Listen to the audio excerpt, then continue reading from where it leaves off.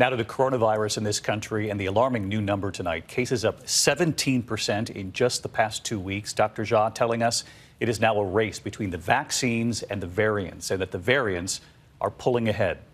And news tonight on that troubling human error at a factory set to produce the Johnson & Johnson one-shot vaccine, likely affecting millions of future doses.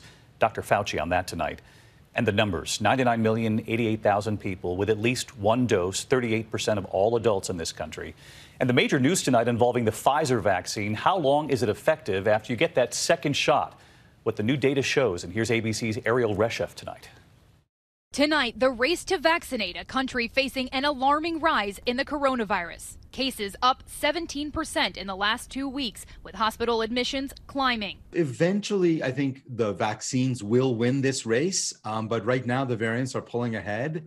And while we've got a lot of vaccinations happening, it's not going to be enough. In Michigan today, the first confirmed case of the Brazilian variant as cases of the UK variant are surging. Beaumont Health now expanding its COVID units after the number of patients quadrupled, many of them younger and unvaccinated. When you take an at risk population with at risk behaviors and a virus that's more transmissible, it's really a perfect storm. Tonight, more evidence of the power of vaccine. Pfizer reporting six months after the second dose, the vaccine was at least 91% protective against symptomatic disease and 95% protective against severe disease. The Pfizer vaccine also appears to work against the worrisome South African variant. But Johnson & Johnson is facing fresh scrutiny after an ingredient mix-up at a Baltimore manufacturing plant potentially ruined about 15 million future doses. That it's really quite unfortunate that about 15 million doses now are not going to be able to be used.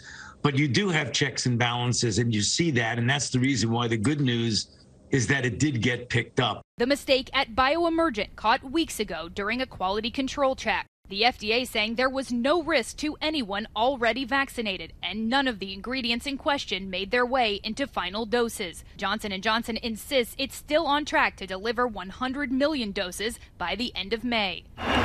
Today, thousands of excited fans filling into stands for baseball's opening day, each stadium with its own safety protocol. At Yankee Stadium, temperature checks and proof of vaccination or a negative test required. But the Texas Rangers will reopen their ballpark at full capacity, the president calling it a mistake. I think it's a mistake.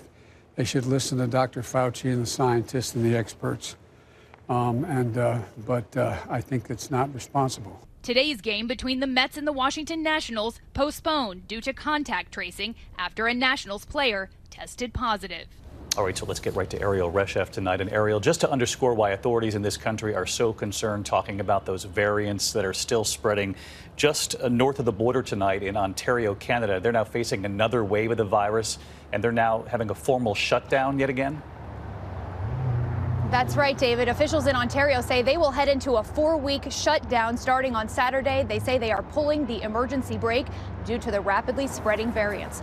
David. All right, Erielle Reshef with us tonight. Erielle, thank you. And Hi, everyone. George Stephanopoulos here. Thanks for checking out the ABC News YouTube channel. If you'd like to get more videos, show highlights, and watch live event coverage, click on the right over here to subscribe to our channel. And don't forget to download the ABC News app for breaking news alerts. Thanks for watching.